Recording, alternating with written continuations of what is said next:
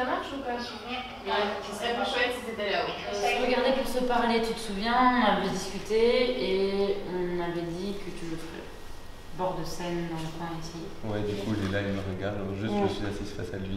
Ah. Il a les yeux bleus. Je suis assise face à Mais une marionnette qui sait pertinemment que longtemps elle a été géante dans un cortège, c'est ça son vrai titre, et ben, qu'aujourd'hui elle forme un mouvement de ses filles imaginaires qui décident pour elle, et puis c'est comme ça, c'est très bien, il faut laisser faire.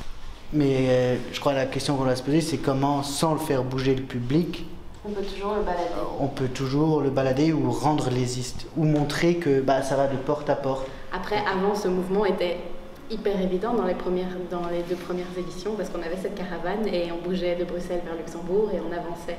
Mais par contre, ça nous questionne vraiment de nouveau, vraiment sur ok, qu'est-ce que qu'est-ce que c'est que de trouver le mouvement, même à l'intérieur d'une certaine fixité. Mais attabler en face d'un parfait inconnu et de laisser exister le silence qui permettrait à la rencontre de se faire telle qu'elle est et non pas telle qu'il me plairait qu'elle soit. Quelque part entre la parole et le silence se trouve peut-être la clé.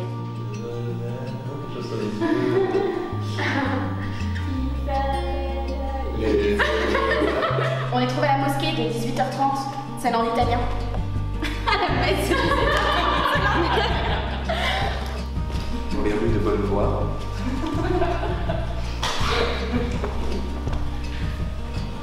Je l'imagine rentrant de chez lui. Euh, on invite aussi les gens à venir dans un lieu dans lequel sans doute ils ne sont jamais venus, enfin la plupart en tout cas ne connaissaient pas le théâtre des casemates.